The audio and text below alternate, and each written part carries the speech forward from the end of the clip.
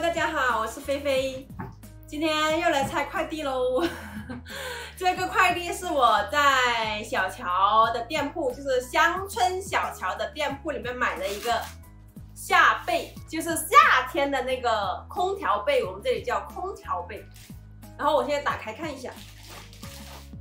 我不知道是不是小乔的呃工厂里面出的，但是是小乔店铺买的啊，深圳的天气呢，现在特别的热，晚上我们基本上说开空调了。我买的这个是大尺寸的，两米乘以两米三的，大概有三点二斤，这个纸呃这个重量，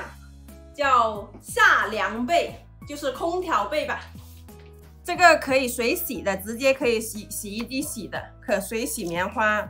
然后呃填充物是百分之百的棉。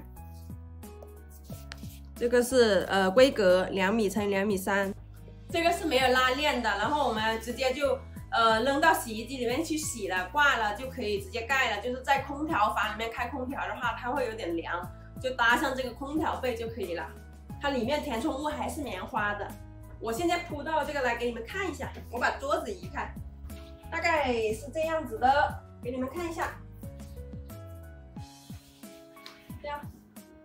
这边是一个麦穗吧，麦穗的蓝色。这边是一个小黄花，爱心花，就这样，还呃尺寸还是很大的。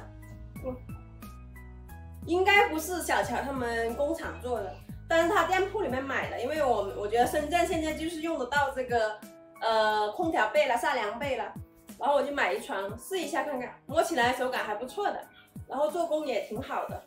多少钱这个？买的是两米乘两米三，是一百二十九块钱包邮，贵不贵啊？不算贵啊，这个因为它的尺寸很大，尺寸很大不算贵的，因为正常我们以前买的那些差不多也是这个出这个价格的。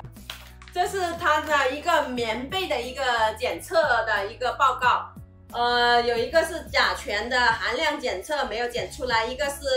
呃纤维的含量也都是百呃百分之百的棉。它里面填充的这个棉是用那个我们新疆棉的，所以很柔软，很好。好了，我们今天就是给你们分享一下小乔店铺里面的这个空调被，在广东这边基本上用得到了，所以说你们喜欢的话可以去小乔的店铺购买。我们今天的视频就给大家分享到这里了，喜欢我们的视频记得点赞加关注哦，拜拜。